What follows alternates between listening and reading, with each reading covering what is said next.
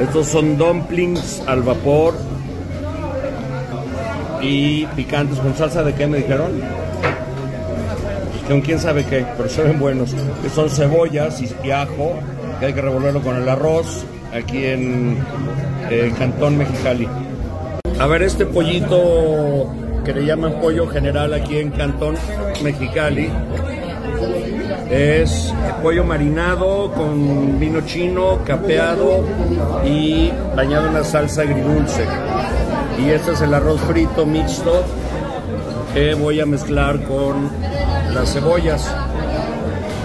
Esto que se ve que pica, ¿qué es, flaco? Este es un danán de cacahuate, es un fideo largo a base de harina y huevo.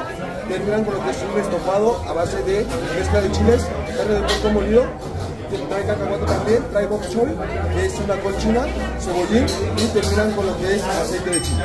Órale, Buen provecho. a ver cómo pica.